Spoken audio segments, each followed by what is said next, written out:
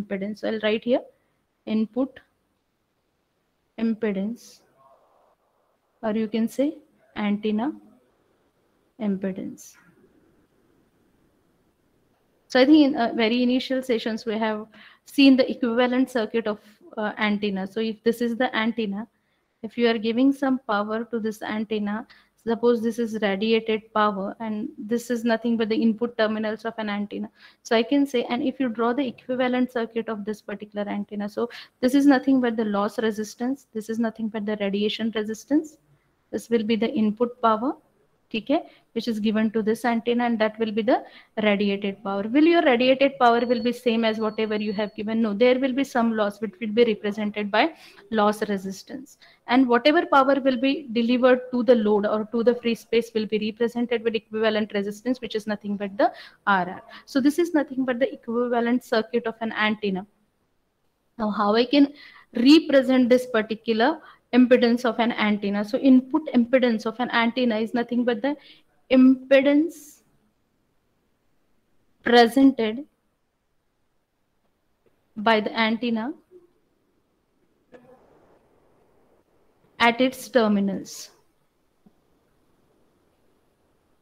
ठीक है? So if I am interested in like watching और drawing equivalent circuit of this particular antenna अगर मुझे इसके लिए इक्विवेलेंट सर्किट ड्रॉ करना है so I am going to draw the equivalent circuit जो भी अबाव सर्किट है। So I can this is my R R R L this will be my R R this will be the reactance of the circuit ठीक है? This R the two point where as I am just this is RL, this is RR, and this can be considered as a XA. So this complete resistance is nothing but the, I can say antenna resistance that will be denoted with this particular RA part. Now this XA, how I'm going to find out uh, mm, what is the input impedance of an antenna. So the total input impedance can be considered as a ZA.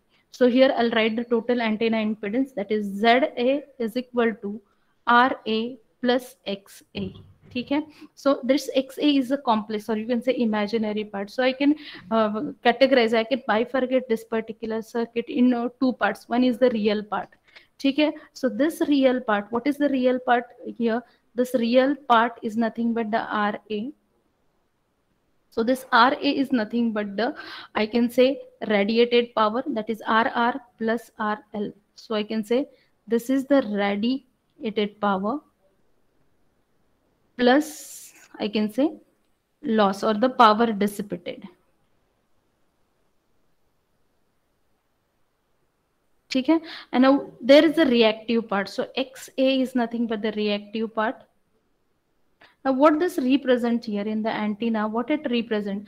This reactive parts is nothing, this is not dissipated, not radiated, but this power is stored. Okay, so this reactive part shows you or this reactive uh, uh, representation shows you that this is the power stored in the near field region ठीक है so za is the antenna impedance input impedance so i can say this is antenna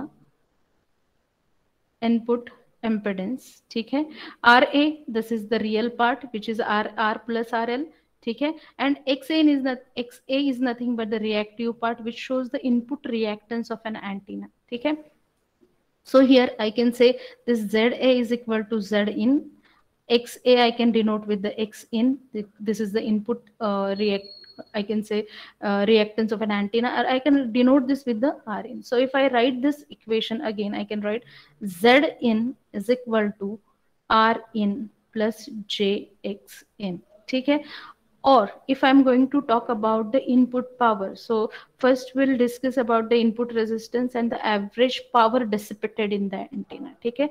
So what is the input power given to this? agar aap power liye dekhenge to power is nothing but the uh, formula r i square. This is the formula. So if i'm talking about the input power p in is equal to one half and i need to consider the total uh, react uh, sorry resistance here and this will be i in square. So this is the input power.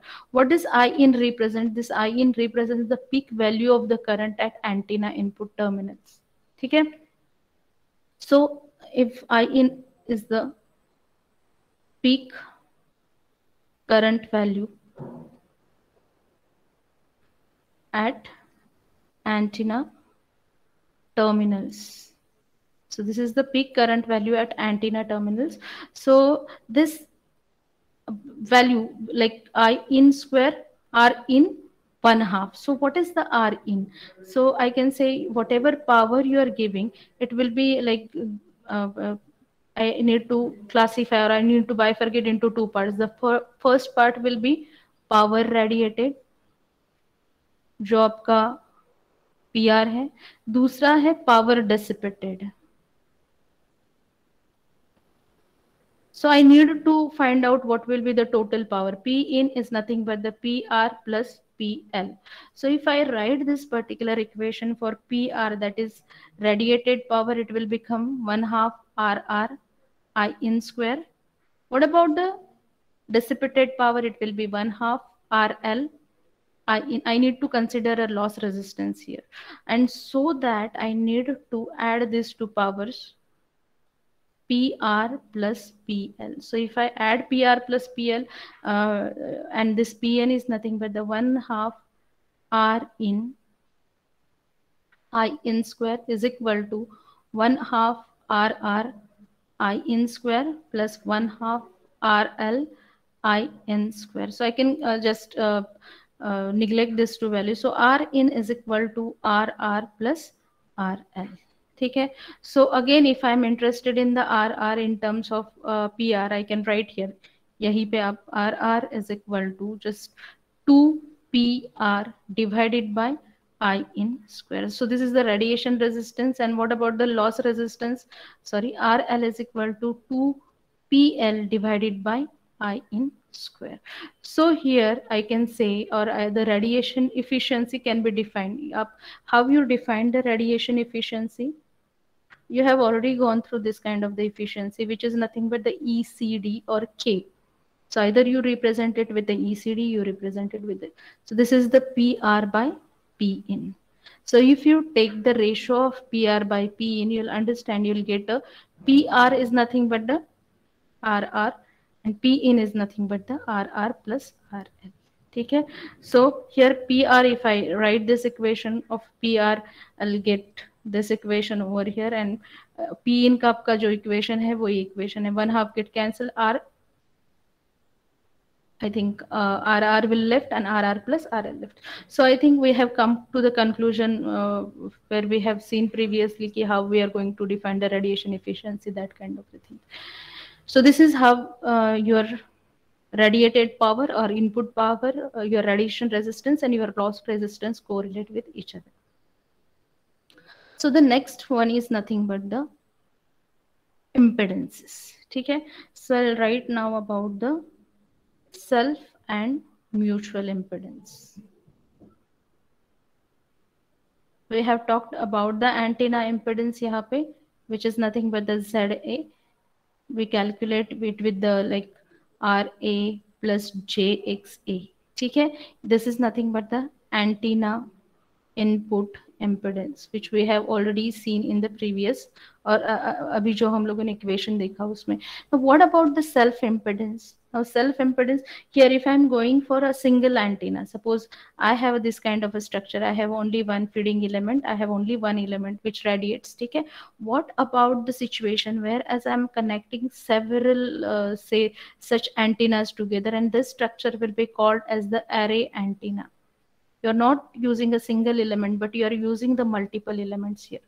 So in this case you need to consider the impedances either um, of each and every element or you are going to talk about only. So if this is the structure and if i'm talking about the self impedance of any antenna i have a three antennas here which i have shown here. So whenever i'm talking about the self impedance of antenna here what i am doing uh, all other antennas are entirely removed. So this is the input impedance. Whereas with all other antennas are entirely removed.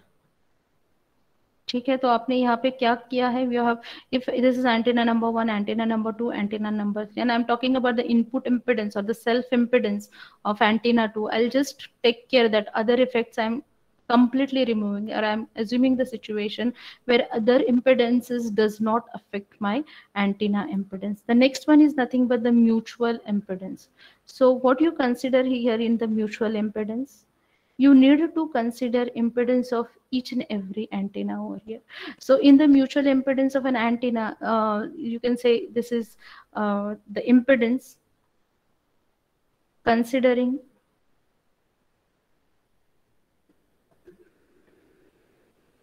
all or I can say effect of all other antennas. Okay so i'll just take the situation whereas i'm uh, where i'm having two antennas connected together. So i'll take the case of two element array whereas i am having two radiating elements. So this is my antenna 1 and this is my antenna 2 okay and both are uh, like facing to each other. So i can say i have given some voltage to antenna 1 I have given some voltage to antenna 2. So this is I1 current induced in antenna 1. This will be the I2 current induced in antenna 2. So this is first antenna. This is second antenna. So I'll just denote this with the A1 and this is the A2. So how I'm going to draw equivalent circuit or the two port equivalence for this one. So this is two element. I'll just say this is the two port equivalence. So while drawing the two port equivalence, I'll just denote this like ये आपका antenna 1 ठीक है and this is again this is the two port node network which shows uh, where you are given a v2 the direction of the current is like this like this take it so this is the v1 and this will be the i1 and this will be the i2 okay now this is the two port equivalence for this antenna uh, this is one this is two so how you are going to talk about the mutual impedance if you're having such kind of the uh, uh, situation? So what you are uh, considering here you are having a two element array with current i1 and i2 uh, as far as voltage and currents at the terminal 1 and 2 are connected the two antennas can be represented by general four port terminals so you can have one two here one terminal two terminal three and four terminal. So uh, you are giving uh, equivalence like v1 is equal to z11 i1 plus z12 i2 what about the v2 you can represent it at a z21 i1 plus z22 i2 now here consider a1 is removed ठीक है अगर आप यहाँ पे consider uh, कर रहे हो कि आपने एंटीना ए वन को रिमूव किया है then self impedance like I just sorry I just consider antenna two is remove ठीक है, आपने एंटीना टू रिमूव किया है। So self impedance of antenna one will be V one by I one when I two is equal to zero so this will be the self impedance of A one what about the self impedance of antenna to consider that you are removing antenna 1 so if you are removing the antenna 1 your self impedance of antenna 2 will be z22 is equal to v2 by i2 when your i1 is equal to 0 okay? So this is all about the self impedance. So while considering the self impedance you have to consider the situation where you are removing another antenna okay so your i1 is 0 means only your antenna 2 comes into the picture. Now what about the mutual impedances? So when i need to talk about the mutual impedance i need to consider the effect of impedance of a first antenna on another. So z21 and z12 this will be called as the mutual impedances and how you're going to write that impedance is over here so z21 is equal to v21 divided by i1 and z12 is equal to v12 divided by i1 so z ये v21 क्या है this is nothing but the open circuit voltage i'll just write here voc is the open circuit voltage induced across terminal 2 of antenna due to I1 of A1, that is antenna 1. What about V12? This is the open circuit voltage induced across terminal of A1 due to I2. I2 is the current of antenna. Now, what is the importance of antenna impedances? Now you can, uh, what you're doing here in the antenna, your transition is from what field to circuit. So it is necessary to know the impedance of antenna so that meaningful expression involving both fields, that is E field and H field, and the circuit quantities can be derived. So this is the importance of an antenna impedance. Next one is nothing but the, we have talked uh, about the radiation resistance. Uh, this, uh, again, I'm going to talk a bit about radiation resistance that is RR.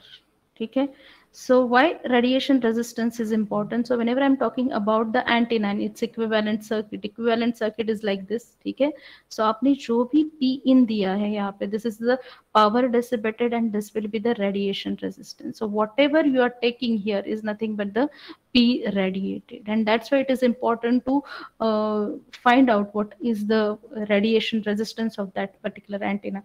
So if I'm talking about the power, it is a I square R Okay, so whenever you are giving some energy to the antenna your antenna power will be bifurcated by radiated power plus p dissipated i can say. Or you can say p loss. Dissipated means so how you're going to find out the p radiated? It will be i square rr what about the p loss? It is nothing but the i square rl and whenever i'm going to take this particular P is nothing but the P radiated plus P loss, which is I square RR plus I square RL. Okay, so I can say I square RR plus RL. So, and what is the total power here in this case? I can say I square plus RR plus RL.